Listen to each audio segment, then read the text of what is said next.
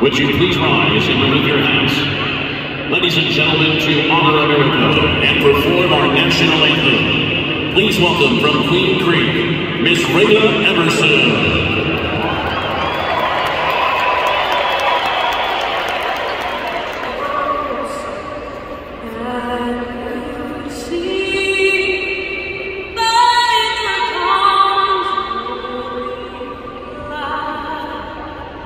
Oh.